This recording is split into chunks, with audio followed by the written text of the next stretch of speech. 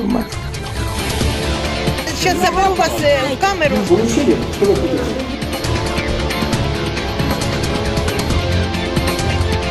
Я була рабинею. Як бути в такій ситуації? Ми хату заберемо.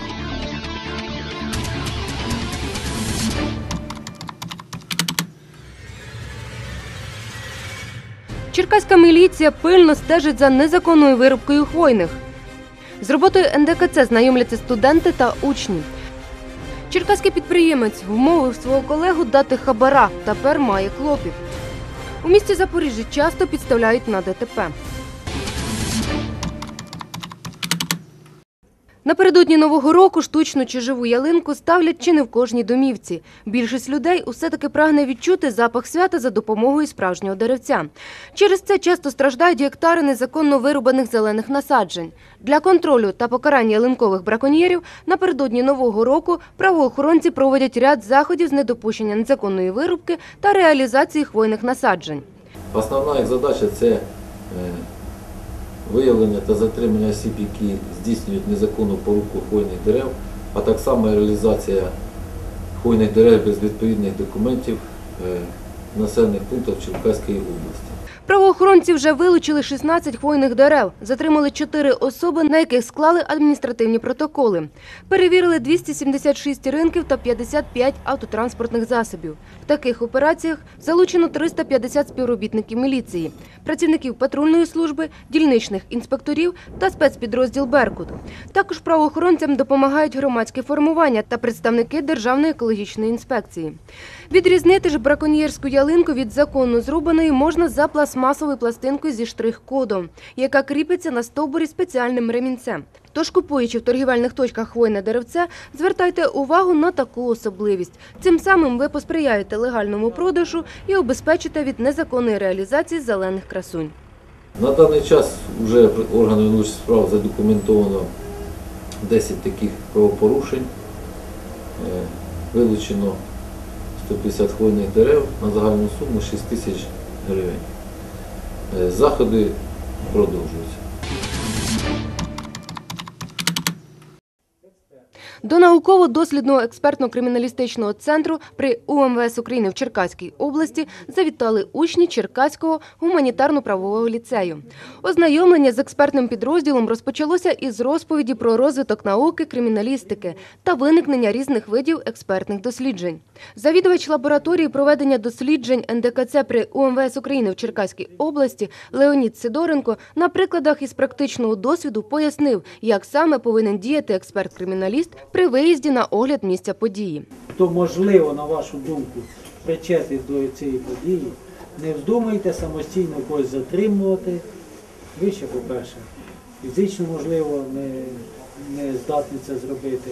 Він розповів про принципи роботи кожного із експертних секторів, які є в НДКЦ – балістичного, дактилоскопічного, почеркознавчого дослідження та дослідження документів, інтелектуальної власності та високих технологій, хімічної лабораторії, автотехнічної експертизи. Показав, як працюють експерти безпосередньо під час роботи із об'єктом дослідження. Особливе захоплення у відвідувачів викликала лекція, проведена провідним експертом сектору дослідження зброї НДКЦ при УМВС України в Черкаській області Олександром Крикуненком, справжнім знавцем зброї та боєприпасів. Він показав та дав можливість всім охочим потримати у руках експонати гвинтівок, револьверів та пістолетів різних моделей. Учні, особливо хлопці, з неабиякою зацікавленістю роздивлялися зразки зброї, цікавилися принципами роботи та особливостями будови, на що експерт давав вичерпні відповіді. Я теж все ж бойовою оружие. Тобто не макет. Останньою зупинкою екскурсійного маршруту було відвідування відділу хімічних досліджень. Співробітники цієї служби проводять дослідження тканин, наркотичних засобів та прекурсорів, горілчаних виробів та слабоалкогольних напоїв. Головний експерт відділу спеціальних досліджень Константин Король розповів про шкідливість наркотичних засобів, наголосив, що не буває легких наркотиків, адже рано чи пізно будь-який із них обов'язково негативно проявиться в організмі людини. Окрім цього, під критику експерта потрапили енергетичні напої, які через наявність у їхньому складі компонентів, що викликають звикання, є також шкідливими для вживання. Він показав хімічну лабораторію та пояснив принципи роботи приладів, які використовуються в дослідженнях. Крім того, експерти, виявляється, займаються ще й науковою діяльністю, пишуть дисертації, беруть участь у міжнародних наукових конференціях та програмах.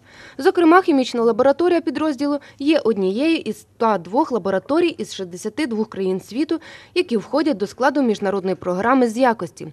Також співробітники підрозділу активно співпрацюють з Міністерством юстиції США та управлінням ООН по наркотикам та злочинності, головний офіс якого знаходиться в місті Відень, Австрія.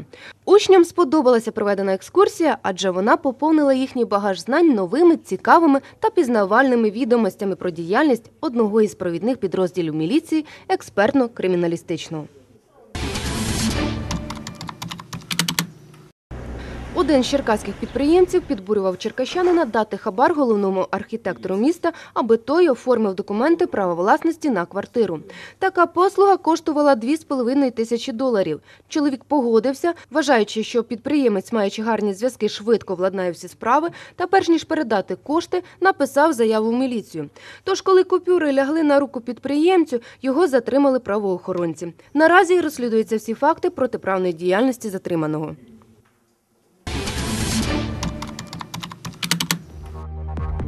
Масове ДТП під Уманю, 13 розбитих авто і заблокований автобан. П'ятикілометрова ділянка автобану Київ-Одеса перетворилася на автокладовище. Півтора десяток автівок зупинилися у сім куч та заблокували дорогу. Повністю блоковано близько п'яти кілометрів автобану у напрямку Одеси на межі Черкаської і Кривоградської областей, неподалік селища Ульянівка. Затори розтягнулися більше ніж на 40 кілометрів від Ульянівки до Умані. Є четверо потерпілих. Найбільше постраждав журналіст надзвичайних новин Юрій Лисий. Він був за кермом червоного шевролет, який протаранив причіп вантажівки. Наразі його стан оцінюють як важкий, і за його життя борються фахівці Уманської нейрохірургії. В аваріях влада звинувачує туман та водіїв, що не дотримались безпечної дистанції. Перше ДТП е, трапилось в 7.30 ранку. По причині зупинилась машина впереді і ззаді йдущий транспорт в умовах сильного туману, прямо таки сильного. Вчора було попередження по Кіровоградській області про туман е, відомістю 200 метрів. А фактично він получився туман від відомості місцями 10, 20, 30, 40 метрів. І з опиту водіїв, як ви бачите, транспорта пострадавшого, під'їхав я в 10.30, пів 11, почали запитувати, яка ж причина, чому так, чому, ну що ти, е, бачив слизько, зупинився. Ні, не міг зупинитися, бо вона відомість ціною. Разі переді машина стоїть. Відомість 10, 15, 30 метрів. Є е, свідки, є вони зафіксовані. Ну, причина, основна причина це туман. Якщо туман, то і в літом, і в суху погоду машини б'ються, тому що звичка переключити скорість, зробити нижчу, не всім доходить. Самі ж водії стверджують, у ДТП потрапили не тільки через туман, а й непосипану дорогу. Вона справді слизька. Кажуть, навіть даї не зупиняли, щоб попередити про негаразди попереду. Сьогодні прямували з Києва на легковому авто Ланас е, напрямку міста Одеси у справах. На жаль, е, подія дорожньо-транспортна, яка мала місце, сталася виключно, вважаю, оскільки я юрист, не з вини водія, який сидів за кермом автомобіля, в якому я знаходилася як пасажир. Е, Дві фури ось зараз, які біля нас, е, на наших очах.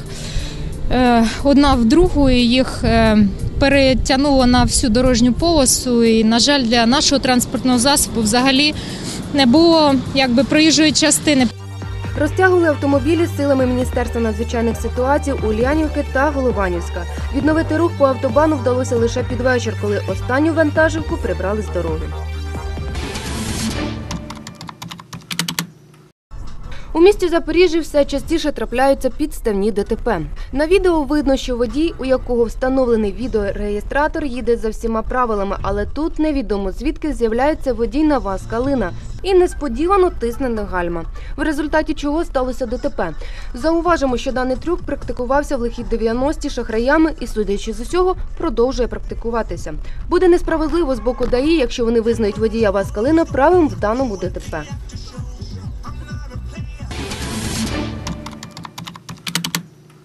У день Святого Миколая виконувач обов'язків прокурора Черкаської області Ігор Рогатюк відвідав монастирищенську загальноосвітню школу-інтернат перших третіх ступенів.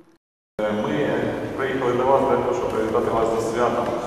Е, Сьогодні насправді велике релігійне свято, е, велике свято, перш за все, для діток е, і перш за все для слухняних. Ви були слухняними в минулому році? Ігор Володимирович зазначив, що чужих дітей не буває, тому в такі дні важливо проявляти увагу до дітей, які так чи інакше позбавлені батьківського піклування. У привітанні зі святом Святого Миколая побажав дітям добра, тепла, щастя, міцного здоров'я і, звичайно, бути слухляними та старанно навчатися, після чого подарував подарунки від колективу прокуратури Черкаської області. Натомість 111 вихованців школи-інтернату подякували та вразили гостей святковим концертом. Крім того, виконувач обов'язки прокурора області, прокурор Монастирищенського району та працівники апарату прокуратури області, які відповідають за напрямок діяльності, пов'язаний із захистом прав та свобод дітей, уважно ознайомилися з умовами проживання та харчування інтернату.